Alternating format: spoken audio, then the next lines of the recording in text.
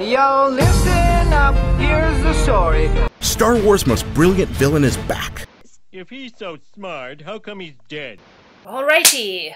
Uh, hello. Uh, I'm making this video just because this is one of those things that's gonna bother me until I say it, so I'm just gonna say it. It's it's about Star Wars. Star Wars!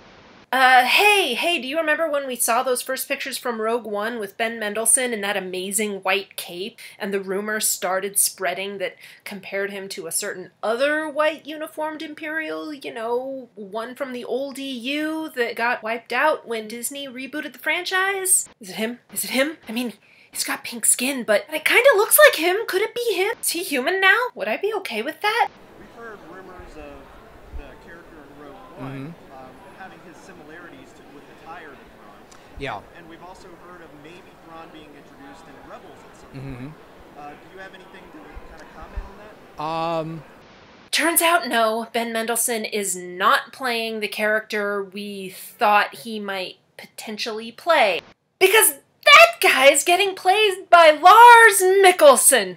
On his back, Thrawn is back, Thrawn is back, Thrawn is canon, Thrawn is canon. Woohoo! Yes, yes. In Star Wars Rebels. Uh. Huh. Yep, my reaction too, kitty. Why'd they cast Lars Mikkelsen then? I mean, he's brilliant, and I'm sure he's at least 30% alien already. Handsome alien, alien with very nice cheekbones, but you know, just a guy who's from somewhere else. Dave Filoni said this was one of the hardest roles they'd ever had to cast, and as far as I can tell, Lars Mikkelsen hasn't done a lot of voice acting before now, unless you count working as a Danish dub actor. It'll be interesting to see how he'll approach this role. Okay, don't think I'm not thrilled to see Thrawn in the canon, because I am. I am. I really am. It's just, uh. Let's see if I can explain. To defeat an enemy, you must know them. Thrawn was introduced to us in Heir to the Empire, which was the first of the expanded universe novels, set five years after the end of Return of the Jedi. The New Republic, although troubled and full of political infighting, has successfully pushed back what was left of the Empire to become the dominant governmental and military power in the galaxy. And here's Grand Admiral Thrawn, picking up the pieces of the shattered Imperial fleet, adding some mining equipment, a few meteors, one dark Jedi, and a few more random odds and ends he just kind of found around the galaxy, and building a force to successfully bring the New Republic to its knees. I will pull the rebels apart piece by piece. His special tactic is to study the artwork of the different worlds in order to gain insight into their people and the tactics they are likely to use. Know your enemy and know yourself. And in a hundred battles, you will never be in peril. This is a villain who's terrifying not because he's got a giant space station or a whole lot of power in the Force. It's because he is so goddamn smart that he's got 10 ways to defeat you before you even know what's going on. Elementary, my dear Watson. This was new. We'd never seen the Empire at a disadvantage before. Shows of force and flashy displays of cruelty and overconfidence were the defining Imperial traits. They weren't creative and resourceful. They didn't need to be. Ah!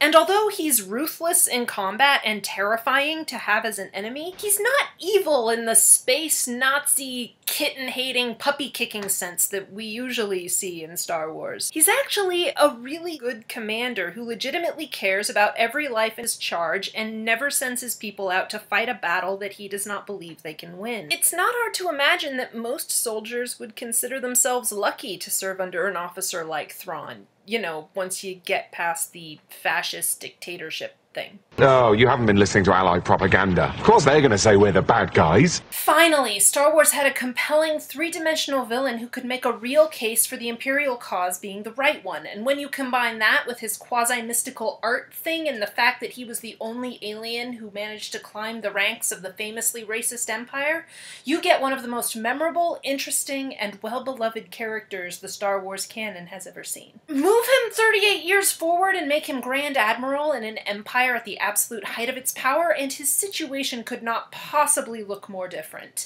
This rebel stronghold has no hope of escape. Commence the attack. Yes, sir.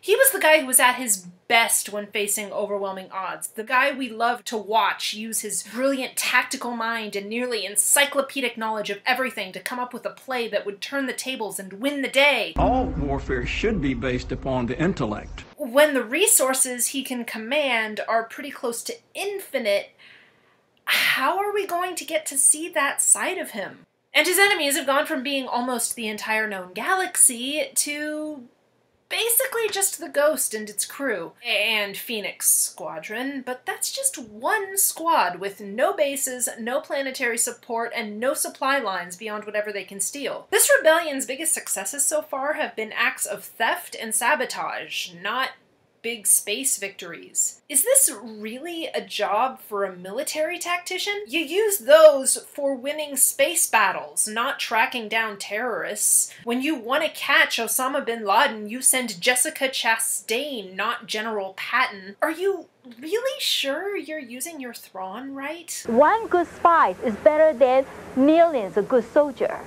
And yeah, I know Thrawn's art thing could help him track down terrorists Jessica Chastain style, but he's not really doing that art thing in this scene. Have you noticed that? Really, look at these images. Their files, their families, their official records, places they've been. It's all useful stuff, but it's not art. The whole art thing is that he can look at the subjects and techniques of the artists and deduce the physiology and psychology of his potential opponents. But there's no technique here. All of this is normal stuff that anyone who wants to know their enemy would read. You don't need to be Thrawn to think of this. And you don't need to be a Grand Admiral for this. I mean, if he's gonna wind up with the assignment of chasing those meddling kids around the galaxy, it would make more sense if he was a captain, a high captain, or even a vice admiral who was getting a job no one else wanted kind of dumped on him because, you know, the Empire is racist as shit. At least then we could at least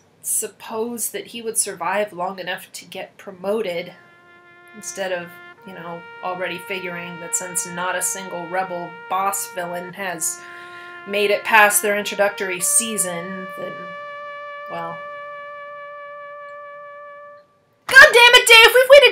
years for this! Don't kill him off yet! No! Heck, even in Legends, Thrawn, for all of his brilliance, didn't have that much success catching ships full of meddling main characters. I mean, he had to watch Luke Skywalker and company slip away from right under his nose more than once. He's a military guy. He's great at winning space battles. He's not so great at pinning down a tiny but determined insurgency that can disappear at will. We're like a vapor. We rise up out of the sand, congeal, strike, and dissolve back into the sand. They're like a blind boxer. They could kill us if they could only find us. For them, war on rebellion was messy and slow, like eating soup with a knife. See also America in the Middle East.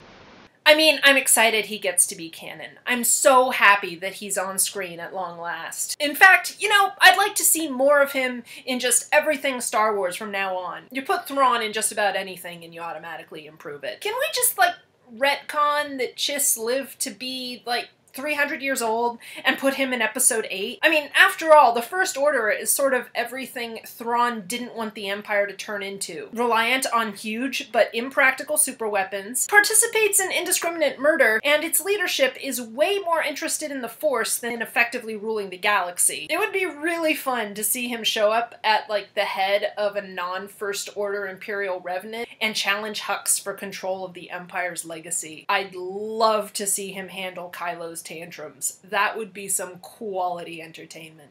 Jerk face. Because really, after this, what's exciting? Rogue One. Rogue One is exciting. I'm The Wire, and I now return you to your regularly scheduled programming. It's a trap, it's a trap. We fell right into their lap. The Empire saw us coming soon. Our ship will just be scrapped. Of the Star War Reenactors Guild number 52577 recognize all those weird, freaky aliens who gave their lives to fight for and against the state's rights to blow up planets real good.